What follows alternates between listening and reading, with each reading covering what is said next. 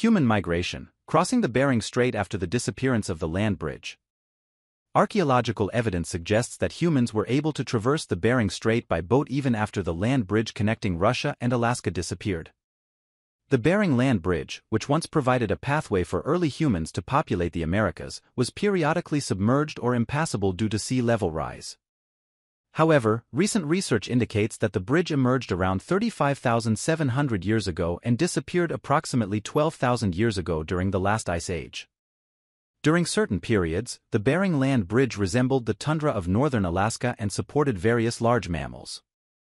However, it was often locked in impassable ice, except for brief windows between 24,500 and 22,000 years ago, as well as 16,400 and 14,800 years ago. It is believed that during one of these periods, around 14,000 years ago, early humans, including those from the Clovis culture, may have crossed the land bridge based on archaeological and genetic evidence. Successive waves of people, including the Paleo Inuit or Paleo Eskimo, crossed the Bering Strait. The Paleo Inuit who appeared in the Arctic around 4,500 years ago belonged to a culture called the Arctic Small Tool Tradition ASTT.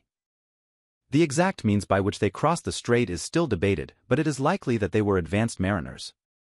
Artifacts found on islands in the Bering Strait and in Alaska suggest that ASTT people may have been in the area as early as 5,000 years ago.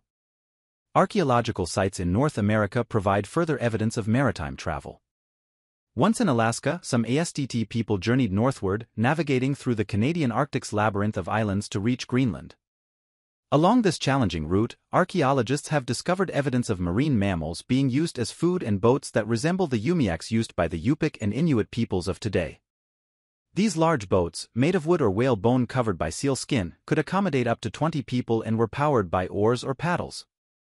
Around 1,000 years ago, the direct ancestors of modern Inuit, Aleut, and Yupik peoples migrated by boat across the Bering Strait from Asia, displacing the ASTT peoples. The question of whether there were even earlier water crossings, such as by the Clovis people, remains unanswered. The lower sea levels during the last ice age exposed hundreds of miles of coastline along Siberia, Alaska, and other parts of North America, but any coastal sites used by early humans are now submerged. While the story of human migration continues to unfold, there is growing support for the Pacific Northwest coast as the primary route for the initial movement of people out of Beringia and into the Americas.